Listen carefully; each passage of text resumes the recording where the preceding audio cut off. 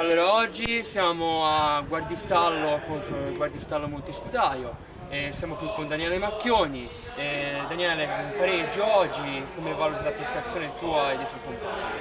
Oggi è una prestazione particolarmente importante perché una squadra come la Cerola che sta insomma, una compagine che è una di quelle diciamo, se non la vittoria finale poco ci manca insomma quindi per noi era importante mantenere, cercare di, di, riprendere il risultato che avevamo perso domenica scorsa partita a tratti buona da parte nostra eh, quando siamo riusciti a mettere il palla a terra e esprimere insomma, le qualità che abbiamo soprattutto nei, nei davanti insomma.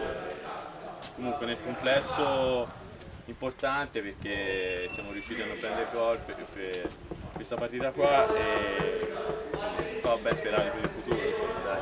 Ok, va bene, ti ringrazio. niente figurati ciao Ciao.